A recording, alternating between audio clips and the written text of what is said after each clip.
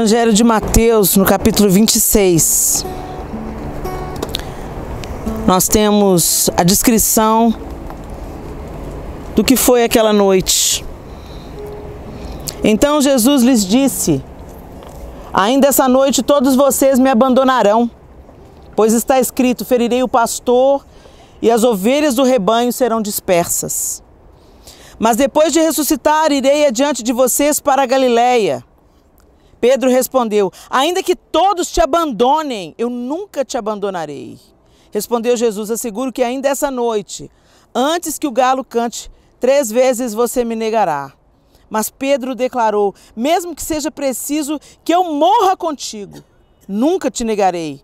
E todos os outros discípulos disseram o mesmo. Então Jesus foi com seus discípulos para um lugar chamado Getsemane e lhes disse: Sentem-se aqui enquanto vou ali orar. Levando consigo Pedro e os dois filhos de Zebedeu, começou a entristecer-se e a angustiar-se. Disse-lhes então: A minha alma está profundamente triste, numa tristeza mortal. Fiquem aqui e vigiem comigo. Indo um pouco mais adiante, prostrou-se com o rosto em terra e orou: Meu pai, se for possível, afasta de mim este cálice. Contudo, não seja como eu quero, mas sim como tu queres. Depois voltou aos seus discípulos e os encontrou dormindo. Vocês não puderam vigiar comigo nem, um, nem por uma hora? Perguntou ele a Pedro. Vigiem e orem para que não caiam em tentação. O espírito está pronto, mas a carne é fraca. E retirou-se outra vez para orar. Meu pai, se não for possível afastar de mim este cálice, sem que eu o beba, faça-se a tua vontade. Quando voltou, de novo os encontrou dormindo, porque seus olhos estavam pesados. Então os deixou novamente e orou pela terceira vez, dizendo as mesmas palavras. Depois voltou aos discípulos e lhes disse: Vocês ainda dormem e descansam, chegou a hora. Eis que o filho do homem está sendo entregue nas mãos de pecadores. Levantem-se e vamos. Aí vem aquele que me trai. Enquanto ele ainda falava, chegou Judas, um dos doze, e com ele estava uma grande multidão armada de espadas e varas, enviada pelos chefes dos sacerdotes e líderes religiosos do povo. O traidor havia combinado um sinal com eles, dizendo-lhes: Aquele a quem eu saudar com um beijo é ele, prendam-no. Dirigindo-se imediatamente a Jesus, Jesus, Judas disse: Salve, mestre! E o beijou. Jesus perguntou: Amigo, o que o traz? Então os homens se aproximaram, agarraram Jesus e o prenderam. Um dos que estavam com Jesus, estendendo a mão, puxou a espada e feriu o servo do sumo sacerdote, decepando-lhe a orelha. Disse-lhe Jesus: Guarde a espada, pois todos que empunham a espada pela espada morrerão. Você acha que eu não posso pedir a meu Pai e ele não colocaria imediatamente à minha disposição mais de doze legiões de anjos? Como então se cumpririam as escrituras que dizem que as coisas deveriam acontecer dessa forma? Naquela hora, Jesus disse à multidão: Estou eu chefiando alguma rebelião para que vocês venham prender-me com espadas e varas? Todos os dias eu estive ensinando no templo e vocês não me prenderam. Mas tudo isso aconteceu para que se cumprissem as escrituras dos profetas. Então todos os discípulos o abandonaram e o fugiram. Todos os discípulos o abandonaram e fugiram. Os que prenderam Jesus o levaram a Caifás, o sumo sacerdote, em cuja casa, que nós vamos amanhã de manhã, se haviam reunido os mestres da lei e os líderes religiosos. E Pedro seguiu de longe até o pátio do sumo sacerdote, entrou e sentou-se com os guardas para ver o que aconteceria.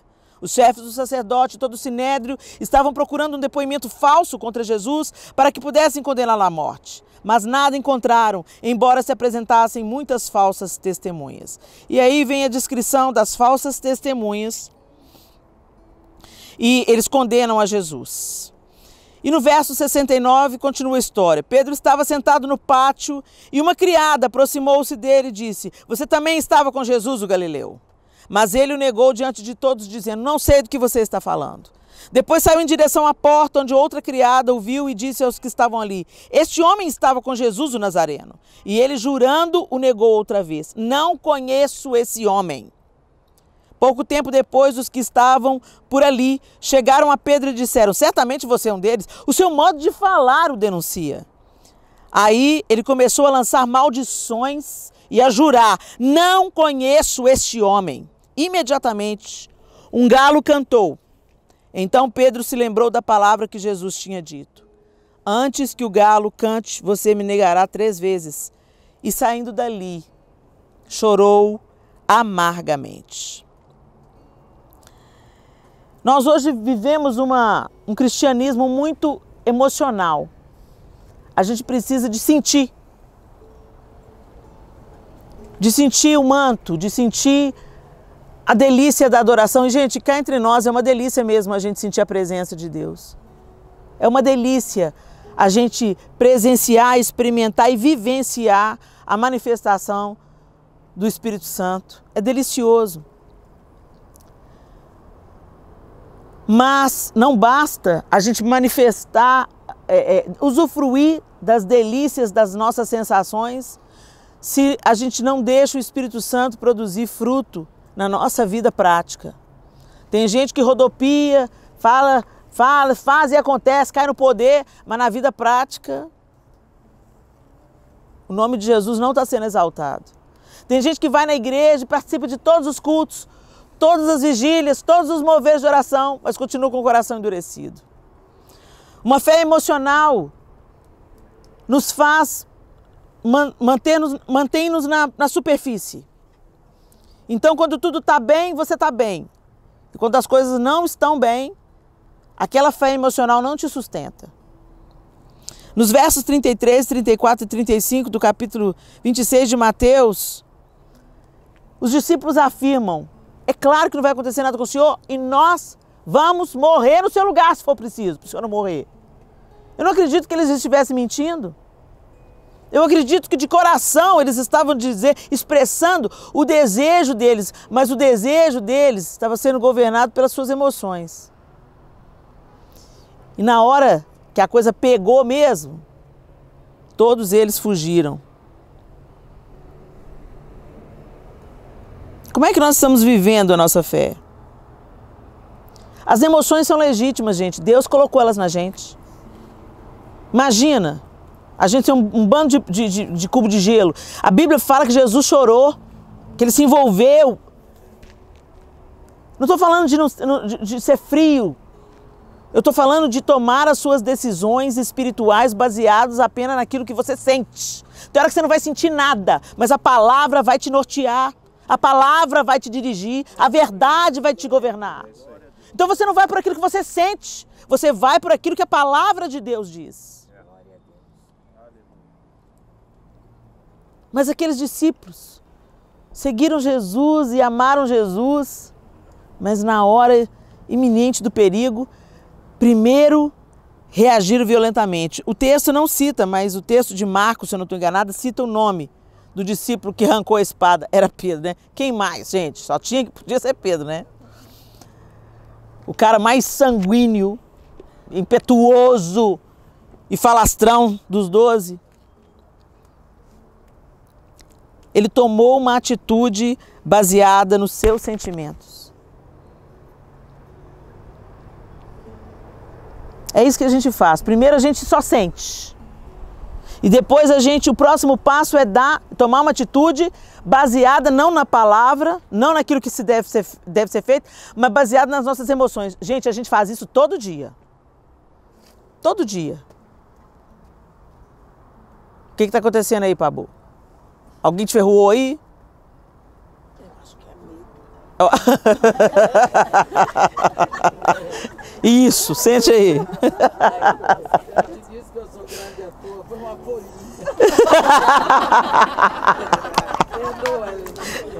Não tá tudo certo, você tá só tomando uma atitude baseada nas suas emoções.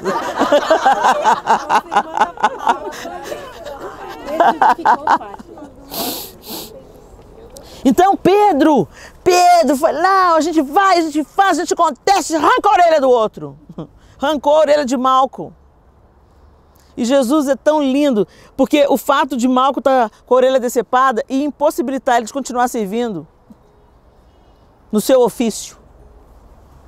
Então, Jesus não só restitui para mal com a orelha decepada, mas também o seu emprego, o seu ofício. Jesus sempre se preocupando com os detalhes, né? Mas é isso que nós fazemos.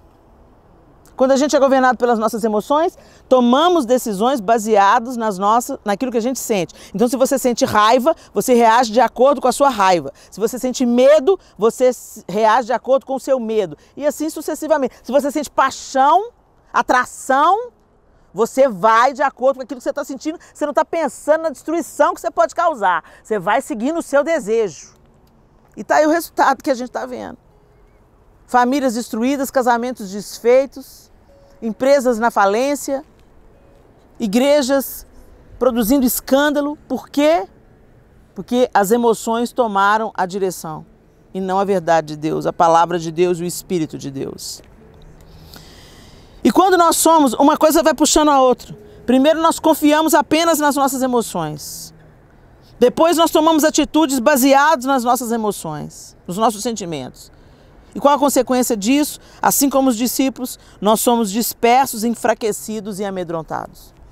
Porque quando nós caminhamos por emoções, é isso que vai acontecer. Primeira coisa, a unidade vai deixar de existir. Nós vamos ser dispersos. Porque você não consegue se relacionar com uma pessoa se você se relacionar com elas só baseado nas emoções. O dia que você está bem com ela, beleza. O dia que ela te, te falou uma palavra atravessada, ah, sai da minha vida, deleta ela. E a gente aprendeu a fazer isso hoje de uma maneira tão eficaz através das redes sociais, né? Se me encheu a paciência, eu dou um follow. Eu não quero mais, eu não quero ver mais a cara. Não, Helena, eu perdoei, eu só não quero ver a cara dela nunca mais. Gente, a, a palavra de Deus diz que a gente deve amar os nossos inimigos. Eu não estou falando que amar o inimigo é se colocar numa posição de ser abusado, não, gente. Não é isso, não. Mas amar o inimigo é tratar ele com a dignidade que você gostaria de ser tratado, com o respeito que você gostaria de ser tratado. O amor não pode estar aprisionado apenas às nossas afinidades, porque senão nós não vamos amar, nós vamos nos relacionar por interesse. Enquanto você me interessa, eu estou com você. Enquanto você está jovem e linda, eu fico casado com você. Enquanto você é um marido que provê todas as minhas necessidades, então você pode contar comigo. Enquanto você é um amigo que me dá status, que me dá poder, que me dá dinheiro, que me dá oportunidades, você é meu amigo. Isso não é relacionamento verdadeiro. Isso é uma mentira. E o Senhor quer nos tirar da superficialidade e fazer de nós realmente luz e sal na terra. Então, quando a coisa tá boa, você fica. E quando a coisa tá ruim, você fica. Você fica e trabalha e constrói e ora e clama e pede até o Senhor transformar aquela situação. Não, você não vai largar o seu casamento, você vai permanecer, confiando que o Senhor vai mudar. É claro, gente, que nós sabemos que infelizmente no tempo doente que a gente vive, existem extremos. Você não vai ficar casada com um marido que te espanca. Você não vai ficar casada com um marido que tinha ameaça de morte, um psicopata. Mas não é disso que eu tô falando, gente. Eu tô falando é incompatibilidade de genes. Ah, ele, ele puxa o papel higiênico assim, eu puxo assim. Ah, esse menino tá me dando trabalho demais, vou mandar pra avó criar.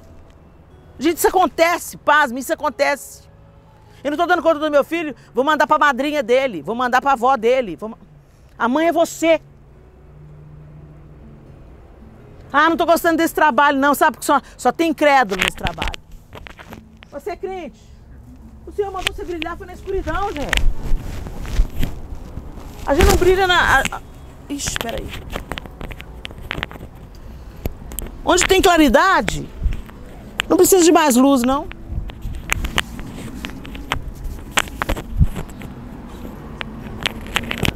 Mas como, como a gente faz isso vez após vez, dia após dia? Ah, essa minha igreja, ah, minha igreja está muito problemática. Minha igreja está dando muito problema. Tá tudo bem aí, Gabriel? Ah, não. Essa igreja aqui, ó, já deu, viu? Também vou falar, a não ser que seja um cara, um cara ensinando heresia, ensinando um evangelho falso. Mas, gente, você quer uma igreja perfeita? Não existe uma instituição perfeita. A igreja perfeita o Senhor está construindo no meio dos santos, se santificando. Mas a instituição é imperfeita porque é formada por homens e mulheres imperfeitos. Então a gente tem que fazer parte da solução do problema. Se a sua igreja está faltando oração, você acha que está faltando oração? Então seja a resposta. Seja mulher de oração na sua igreja. Se na sua igreja, ai Helena, minha igreja é muito fria, sabe? Entra gente, sai gente, o pastor nem vê. Sabe? Ninguém para dar um abraço, para falar boas-vindas. Mas você viu? Ah, eu vi. E você fez, fez o quê? É isso aí. Eu não fiz nada. Mas você não é igreja? Se tem alguma coisa te incomodando, ao invés de você ficar criticando, seja a solução. Seja a resposta. Mas muitas vezes a gente fica de bico e mimimi e, e, e é, é, esse relacionamento com a igreja emocional. E finalmente, depois de dispersos, enfraquecidos e amedrontados, nós terminamos por negar a Cristo. Foi exatamente o trajeto que Pedro fez. Foi exatamente o caminho que ele percorreu. Negar, o que é negar? Afirmar que uma coisa não é verdadeira ou não existe. Dizer que não, não aceitar a existência de, contestar, não confessar, não assumir, rejeitar, recusar, desmentir, proibir, não permitir. Gente, o que a gente mais escuta falando hoje é: poxa, mas parece o cara fala que é crente, mas eu não vejo Jesus na vida dele. Às vezes a gente pensa que negar Jesus é só a gente falar com a nossa boca assim: eu não sirvo a Jesus, eu não conheço Jesus, como aconteceu com Pedro. Não, gente, negar Jesus é quando você fala de um evangelho, mas não vive esse evangelho. É desmentir com a prática o que o seu discurso profere. Você fala para não mentir, mas mente. Você fala que o cristianismo é amor, mas na hora de você amar, não ama. E, gente, por mais que a gente se esforce, a gente não percorre isso pelo nosso próprio esforço. Você pode se esforçar, se esforçar, se esforçar, como Pedro se esforçou, como os discípulos se esforçaram. Vocês não vão conseguir na sua força. É por isso que Jesus falou: Olha, eu vou, mas eu vou mandar outro, o Consolador, e ele vai ensinar vocês todas as coisas. Gente, é o Espírito Santo em nós que faz a gente ficar diferente. Não é porque a gente é bonzinho, porque nós não somos bonzinhos. É só balançar um pouquinho que a nossa carne já. Ah! A gente está cansado. Olha, esse aqui é um momento. A gente está muito cansado nesses dias, não estamos? Está todo mundo aqui cansado. Vocês já notaram que a gente está ficando com os nervos à flor da pele? Já notaram? Ou a outra fala uma coisa assim, você já arranja os dentes. Essa aí é quem a gente é de verdade. Por isso que a gente tem que andar colado no Espírito Santo. Espírito Santo, entra. Espírito Santo, se manifesta aqui, Senhor.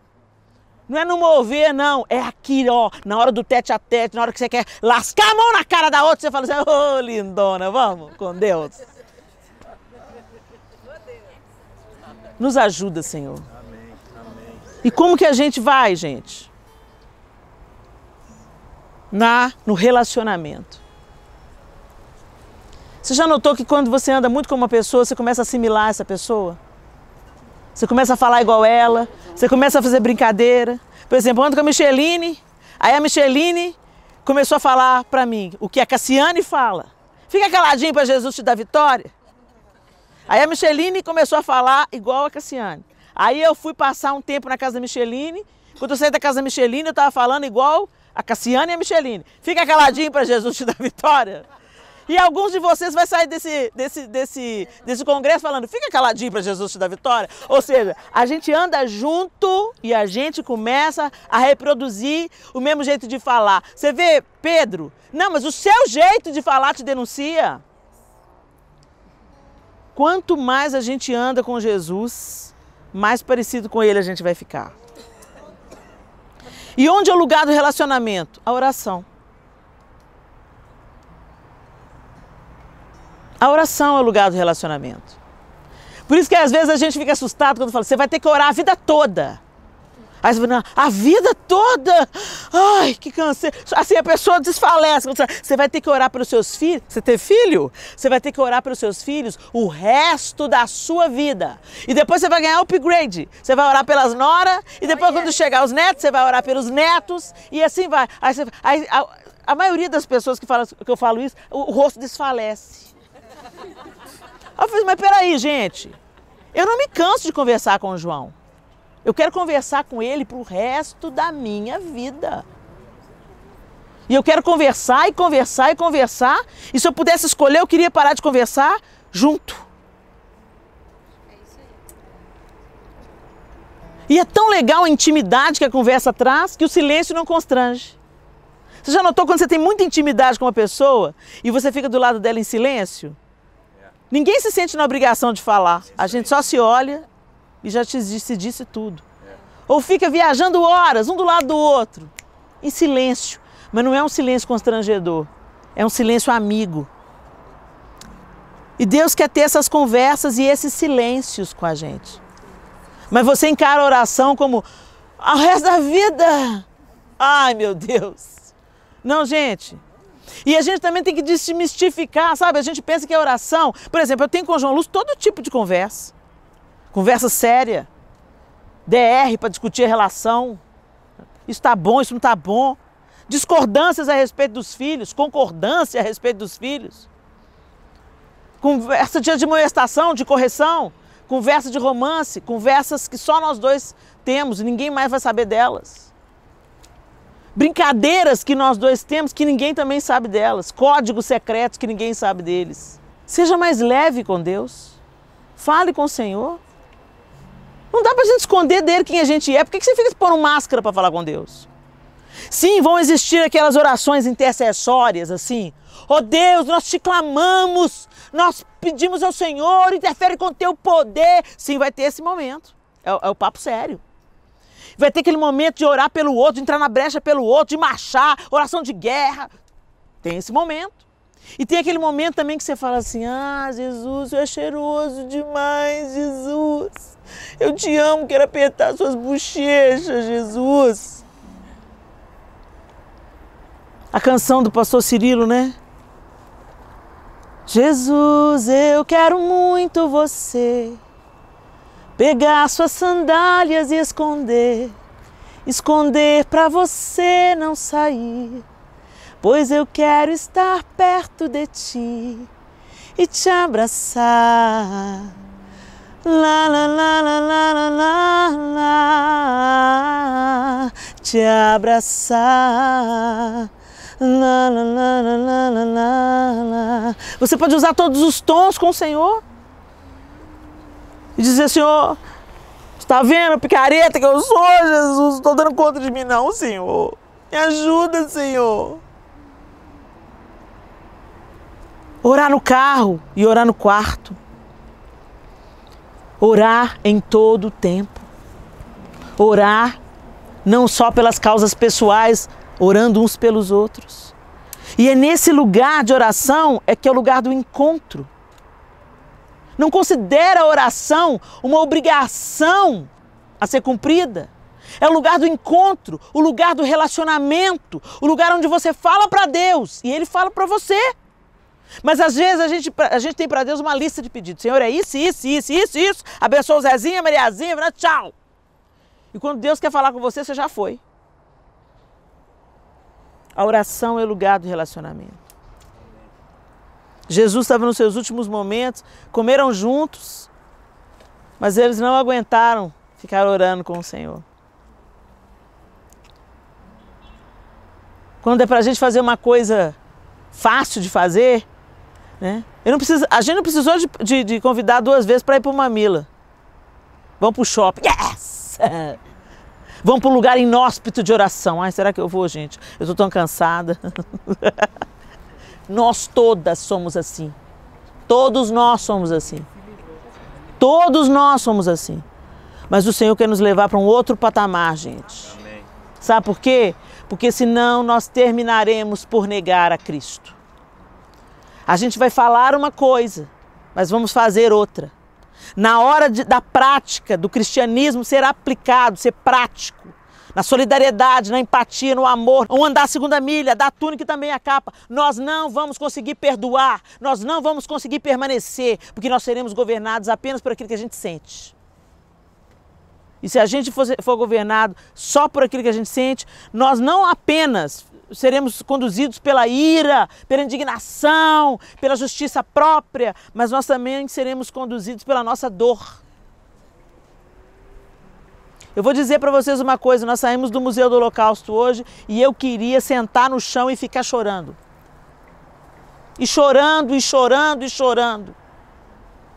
Mas ia adiantar o quê? Ia mudar o quê? Mas eu posso pegar o que eu senti e reproduzir para todas as pessoas que eu ministro. Que é tempo da gente anunciar o príncipe da paz, para que aqueles absurdos que aconteceu não aconteça mais. Que o Senhor nos livre. Que o Senhor tenha misericórdia, porque outros povos também estão sendo dizimados, perseguidos, inclusive a igreja. Cristãos estão sendo perseguidos e a gente nem se lixa. A gente não separa uma conversa com Deus para falar sobre a igreja perseguida. Senhor, alcança, guarda, livra, dá estratégias, envia recursos. Nós somos várias vezes instruídos a orar sem cessar, mas a gente ora por obrigação. e mantemos a nossa fé apenas emocional.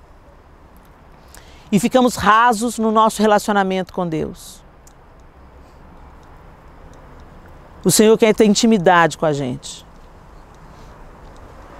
Para que o nome dele seja levantado, para que pessoas sejam alcançadas, curadas, restauradas.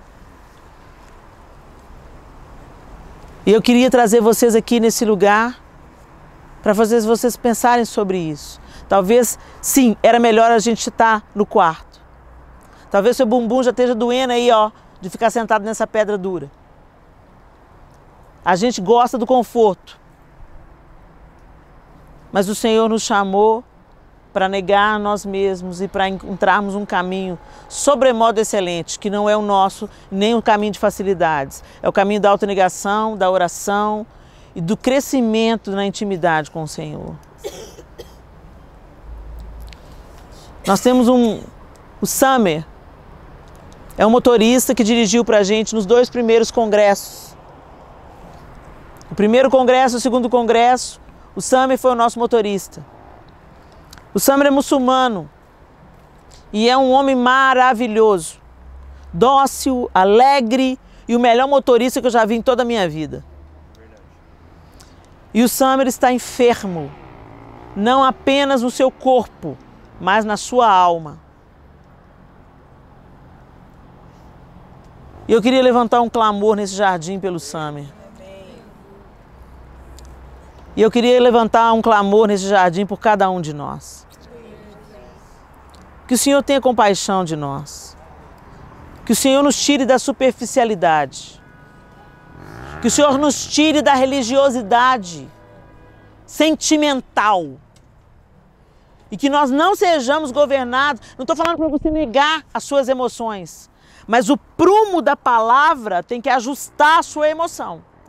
Se a sua emoção é contrária à ordem da palavra, é a sua emoção que tem que se sujeitar à palavra e não o contrário. A palavra, tem um tanto de gente torcendo a palavra para caber o seu desejo.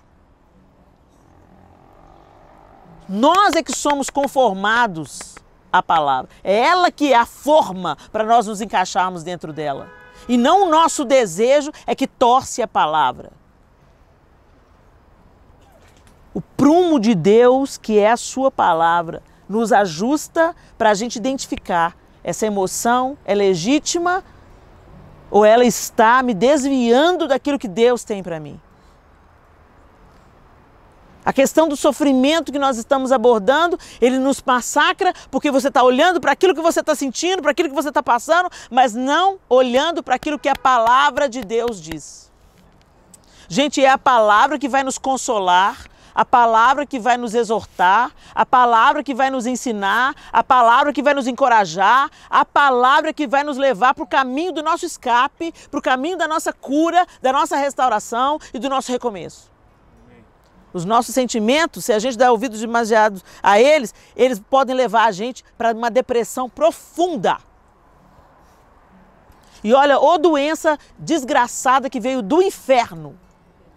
Porque olha, em todas as outras doenças as pessoas querem tratamento para sobreviver. E na depressão, as pessoas querem morrer.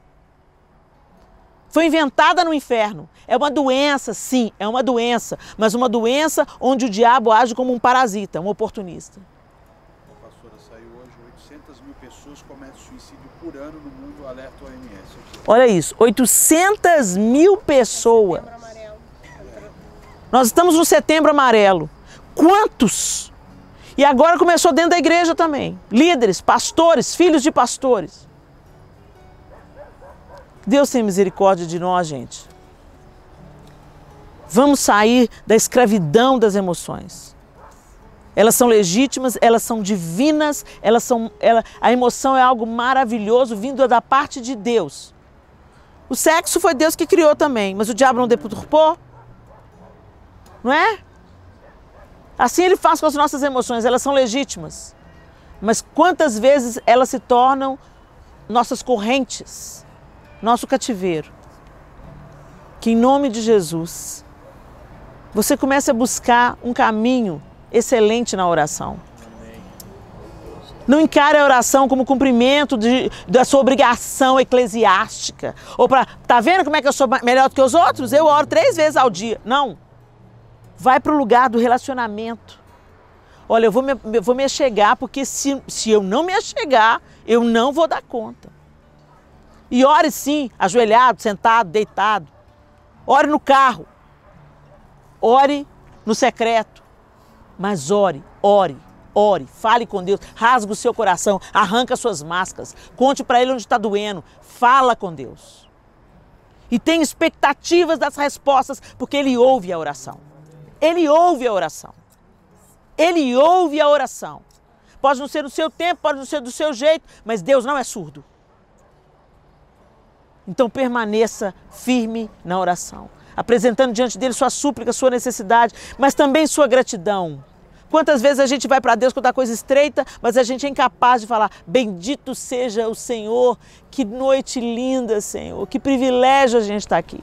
A nossa boca está sempre reclamando de alguma coisa ou pedindo alguma coisa.